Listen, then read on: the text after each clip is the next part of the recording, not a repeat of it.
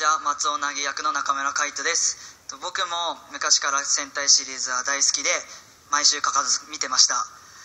ででそれが本当に決まった時嬉しくて。でそれでもう僕も戦隊のヒーローになったので子供たちが憧れられるように頑張りたいなと思っています。